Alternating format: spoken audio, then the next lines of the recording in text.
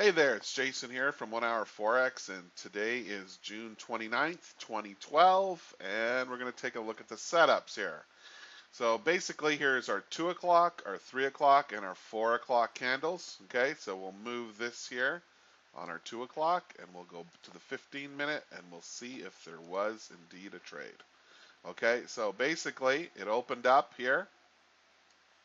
Yeah, rejected it, came back down, sold it within the first 15 minutes, came back up, and then closed here. Okay, so basically, um, it almost it missed the target by about one pip. It was an 18 pip target, so you could have got some pips out of that. Okay, then at this next one, which is our 3 o'clock candle. Take a look at that. It opened up, When I projected it. You would have got short here, and it definitely hit the target. So you would have made about 18 pips on that trade. Okay, so this here was a winner of 18. Well, hold on. Oh, that's lower. That's lower. Okay, hold on. No, no, it was 11 pip winner on that one. Sorry. The other one, you had about 17 pips on the first one. There was, uh, I don't believe there was a trade on the 4 o'clock, but let's go see. If you did get in the trade, you got in and it didn't go nowhere. Okay. Um,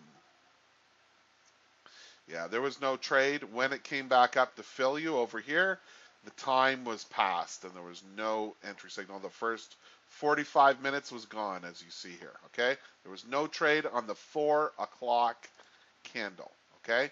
No trade here. So then here is our 8 o'clock, 9 o'clock, and 10 o'clock, okay? This is our 11 o'clock candle. On the 8 o'clock, as you can see, it didn't open up, come down, bounce off it, and go up. There was no trade. On this one, okay, uh, basically made a double top, okay? Um, and if you did get short, the target was 26 pips. It went about 19 pips in your favor and came back up and rallied back up again. So um, if you did get out, you got out with maybe seven pips. On this 10 o'clock candle, there was no trade. Okay, so that's it for the setups uh, for today. Um, as I told you, now we go into the summer time, uh, holiday time. Okay, I have no clue what made the euro jump up 250 pips today. But anyway, it did what it did. It did it at weird times. Uh, right here was a weird time. This one was in the U.S. session. Um, so anyway, uh, like I said, uh, this is holiday time now. We will see you on July uh, the 18th, I believe. Okay. Uh, hold on here. Let me look at the calendar here. No, July 16th.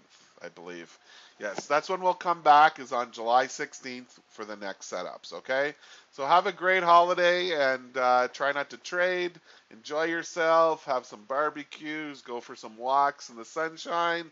Go play with the beach balls and the beach and the girls down at the beach.